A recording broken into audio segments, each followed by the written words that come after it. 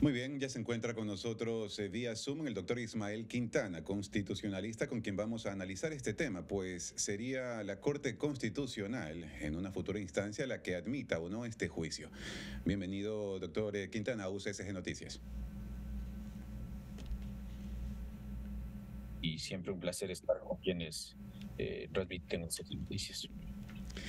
Ismael, un gusto también para nosotros eh, poder contar con usted para analizar siempre esta coyuntura política. Empecemos con este, con este tema, ¿no? ¿Cuál es la causa del legislativo para enjuiciar al presidente Guillermo Lazo? Sobre todo para que lo conozca bien el país, ¿no? Sabemos que ya no es traición a la patria, sino se menciona concusión, cohecho, peculado, omisión, acciones de delito contra la seguridad del Estado. Pregunto, ¿esto cumple la norma penal, Ismael, o no tiene valor eh, jurídico? A ver, eh, no es solo el Código Penal, realmente es la Constitución la que en su artículo 129 determina cuáles son las causales por las cuales cabe llevar a juicio político al presidente de la República. Básicamente son tres. Delitos contra la seguridad del Estado, delitos de eh, o contra la administración pública, cohecho, peculado, concusión, enriquecimiento ilícito o delitos de lesa humanidad, secuestro, homicidio por razones políticas o de conciencia, desaparición forzada de personas, esa clase de infracciones de carácter este, penal. Ahora, ¿Qué es lo que se ha aprobado ayer? Algo francamente discutible. Cierto es que al menos la comisión ha decidido retirar la acusación que originalmente constaba en el borrador relativa a este, esta descabellada eh, idea de que el presidente ha cometido delito de traición a la patria. Pero se deja indicando de modo muy genérico que se recomienda el juicio político al presidente por delitos contra la seguridad del Estado. La gran pregunta que tendríamos que hacer es cuál de los delitos que están tipificados en el catálogo de aquellos que tienen que ver con atentar contra la seguridad del Estado es por el cual se pretende llevar al presidente de la República a juicio político. Es decir, no basta Ventajosamente, este es un informe y un informe que yo he sostenido tiene un valor jurídico cero, ni siquiera es vinculante para el Pleno.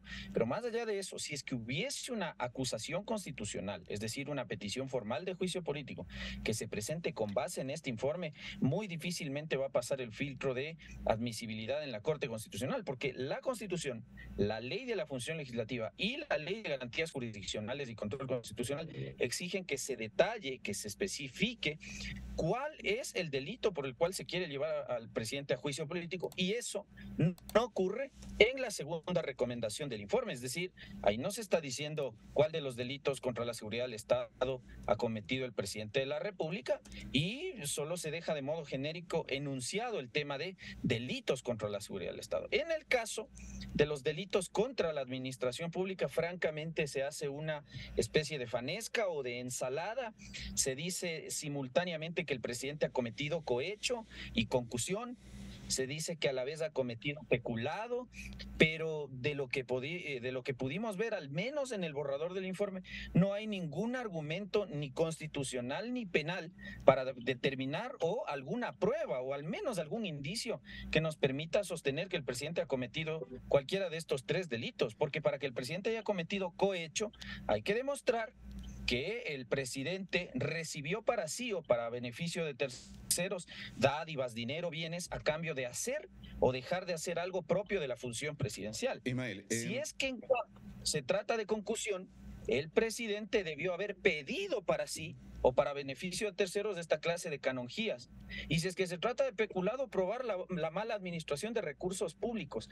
Eso en el informe no aparece. Entonces, si hay, y con esto concluyo, si hay una acusación constitucional que se llegase a fundamentar en este informe, yo veo muy complicado que un juicio político proceda porque con eso no hay causal para llevar a juicio político al presidente. Justamente ahora, luego de este informe, ¿qué se viene, Ismael? Entendemos que antes de que pase por la Corte Constitucional también debe pasar por el Consejo de Administración Legislativa, pero ¿cuál es el plazo que tiene el CAL para esta emisión del primer dictamen de calificación? A ver, Vamos aclarando ciertas cosas. Le decía yo hace un momento que este es meramente un informe, un informe que se va a poner a consideración del Pleno. ¿Qué quiere decir esto? Este informe no es condición necesaria ni suficiente para que proceda un juicio político en contra del presidente de la República. Para que podamos hablar formalmente de un juicio político, se requiere la presentación de una acusación constitucional en la Secretaría General de la Asamblea, con las firmas de respaldo que se requiere son 46 y la justificación de la causal por la cual se quiere llevar al juicio político al presidente de la República. Entonces, eso es independiente de lo que vaya a resolver el día sábado la Asamblea respecto a este informe. Me explico de otra manera.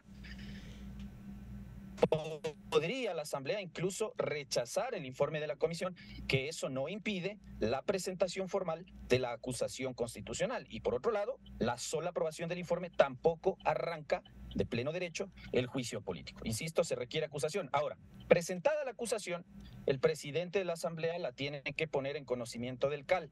Lamentablemente, nuestra muy mala ley de la función legislativa no establece un plazo para que el CAL califique la solicitud de juicio político. A diferencia de lo que ocurre con los juicios políticos al resto de funcionarios que son sometidos a esta facultad fiscalizadora, en el caso del juicio político al presidente de la República no hay un plazo ni mínimo ni fatal que, al que deba sujetarse el CAL. Entonces, dependerá de la voluntad política de los integrantes del CAL el decidir si califican o no califican y dentro de qué plazo lo van a hacer, porque a partir de eso, si es que esa primera fase de calificación es superada, tiene que enviarse el expediente a la Corte Constitucional y la Corte Constitucional sí va a tener ocho días para emitir un dictamen eh, sobre la admisibilidad o no del juicio político, con lo cual el proceso vuelve a la Asamblea Nacional en el caso de una admisibilidad. Evidentemente, si hay inadmisibilidad, la ley dice que se archiva el juicio político, pero si hay un dictamen de admisión,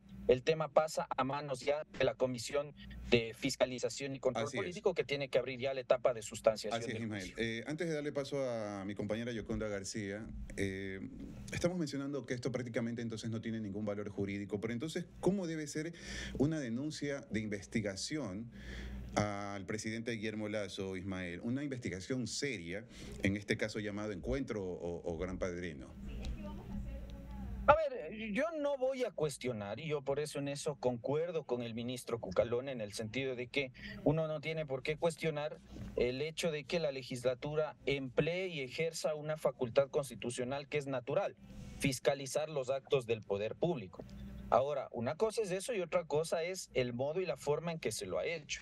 Una forma primero sesgada, porque en estas investigaciones que han hecho sus colegas de la posta y las que han hecho en el Frente Parlamentario Anticorrupción y la investigación hecha por el propio ex secretario de la presidencia, me refiero a, a, Luis Verde Soto, el secretario anticorrupción, arrojan otros temas que en este informe ni siquiera se están sosteniendo. Los aportes de campaña, por ejemplo, de este señor Cortázar a los candidatos del correísmo, de eso nada. Ahora, hay otros hechos que sí ameritan o ameritaban de la legislatura una investigación un poco más seria. Por ejemplo, hay una pregunta que acá no se contesta y, esa es una pregunta que el presidente la debía contestar. Lamentablemente se negó a asistir a la, a la comparecencia a la que se le convocó en la Asamblea. ¿Por qué mantuvo al señor Luque Lecaro al frente de la empresa coordinadora de empresas públicas hasta cuando el señor fugó en noviembre, diciembre del año anterior, cuando él y de las investigaciones que ha hecho, insisto, no la posta, no este, esta comisión ocasional, sino el Frente Parlamentario Anticorrupción, donde hay legisladores, entre comillas, aliados al gobierno. Se dice que esto estuvo en conocimiento del presidente en julio de 2021. Esas son cuestiones que no quedan eh, claras, ¿no es cierto? Pero de ahí a empezar a elucubrar cuestiones tales como que el presidente tiene nexos con el narcotráfico, sin tener ninguna prueba de aquello, de que a la campaña del presidente Lazo hubo aportes del narcotráfico, sin que se presente una sola prueba de aquello, bueno, me parece que eso termina convirtiendo a una investigación parlamentaria que debió haber sido objetiva, técnica y seria en un show político que está encaminado, ya sabemos a qué, a enjuiciar al presidente para buscar su censura y destitución. Ese es el objetivo de esta mayoría parlamentaria. Doctor Quintana, buenos días. Yo, Contra García, le saluda en esta mañana. Retomando lo que usted mencionaba hace unos minutos, en que vale también la voluntad política del CAL. Ahora, en de darse o conseguirse la, el dictamen de admisibilidad por parte de la Corte Constitucional, ¿qué análisis usted puede hacer al respecto de la actual Corte? Bueno, es una corte integrada por gente relativamente seria, decente, podemos discrepar en muchas ocasiones con el contenido de sus decisiones, pero eso a mí no me puede llevar a dudar de la seriedad y hasta cierto punto de la independencia con la que han obrado en muchos casos. No estamos acá ya frente a un caso de una corte cervecera como era la Corte Constitucional alineada 100% al correísmo, la que estuvo en funciones hasta el año 2018. Es una corte hasta cierto punto que se ha mostrado apática a la problemática política del país y eso a veces también genera cierta suspicacia. Es decir, si usted me dice a mí cómo creo yo que va a obrar la corte, difícilmente puedo darle una respuesta porque es una corte, insisto, que se ha mostrado muy lejana a la problemática política del país. Pero yo esperaría básicamente una cuestión, que la Corte, si es que hay solicitud de juicio político, tome la acusación, revise las pruebas y cumpla su función, verificar si es que hay causal y si se cumplen los requisitos para dar paso o no al juicio político. Eso esperaríamos, decir, una decisión que esté alejada de cualquier cálculo político. Esta Corte está dispuesta a hacerlo. Lo veremos en su momento si es que llega a darse la ocasión de que el dictamen deba ser emitido. Yo pues eh, creería que sí. Doctor Quintana, eh, al respecto también pues eh, en este fallo de los miembros de la Corte Constitucional podría también pesar la lealtad por parte o en este caso directamente al gobierno. Difícilmente porque el presidente ha incidido muy poco en la designación de esta corte. Recuerde usted que originalmente esta magistratura fue nombrada en 2019, es decir, cuando Guillermo Lazo ni siquiera asomaba como candidato a la presidencia de la República. Tuvo él la fortuna de eh, atravesar un el primer proceso de renovación parcial de esta corte, eso sí ya en eh, enero, febrero de 2022. Usted recuerde que ahí la corte se eh, modificó parcialmente, se renovó, salieron tres jueces, entraron tres nuevos que ya no tan nuevos, Richard Ortiz, Joel Escudero y la señora Cárdenas, los tres miembros de la Corte muy alineados no al presidente Lazo, sino realmente a la tesis de la ex ministro de Gobierno, me refiero a Alexandra Vela. Entonces, yo no sé si los tres nuevos miembros que fueron propuestos por la terna presidencial van a guardar cierta lealtad al presidente o si realmente guardan cierta lealtad a la ex ministra Alexandra Vela. Fíjese usted que incluso uno de los tres miembros de la Corte, el señor Escudero, Joel Escudero, eh, en su tesis doctoral había escrito sobre el tema del feriado bancario y era una persona que dijo que el feriado bancario eh, implicó un grave atentado a los derechos humanos y que señalaba a Guillermo Lazo como uno de los principales responsables. Entonces, jamás muchos entendimos cómo es que el presidente incluyó en la terna una persona que había escrito una tesis doctoral en ese sentido. Entonces, eh, por eso le digo, la Corte es una caja de sorpresas y, si de los tres que fueron puestos por el presidente en su terna y que ingresaron luego del concurso a la Corte, yo tengo dudas de que vayan a guardar cierta lealtad y lealtad, agradecimiento al presidente por haberles puesto ahí. Ismael, algo, pues, muy puntual, algo muy puntual eh, en honor al tiempo, Ismael. Hemos hablado de cálculo político. ¿Hay en este caso alternativa de muerte cruzada en esta coyuntura? A ver, no hay este, ninguna prohibición en la Constitución para que el presidente, una vez iniciado un juicio político en su contra o incluso activado el proceso de muerte cruzada desde la Asamblea Nacional al amparo del artículo 130 de la Constitución, él decrete la disolución parlamentaria. No hay una norma que le impida eso, así que podría hacerlo en cualquier momento. Ahora, el presidente tampoco puede, tal como la legislatura no puede censurarlo y destituirlo por lo que se le ocurra, forzando las causales constitucionales de juicio político, el presidente tampoco podría decretar una disolución parlamentaria sin causal. Para que el presidente tome esa decisión hay tres causales.